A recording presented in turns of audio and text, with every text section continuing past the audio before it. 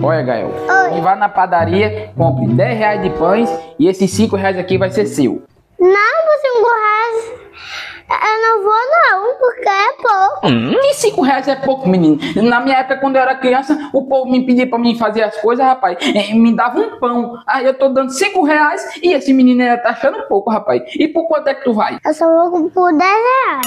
10 reais? Não tem cabimento um negócio desse, menino. Tu ia aqui do lado da padaria aqui, que só é do outro lado da rua, eu dar 10 reais, tá mais caro que os mototáxis aqui da minha rua. É pegar e largar. Pegar o largar. Era só o que me faltava, rapaz. Olha, quebra esse galho pra mim, rapaz. Vai comprar esses pão e toma esses 5 reais. Tá não, vizinho.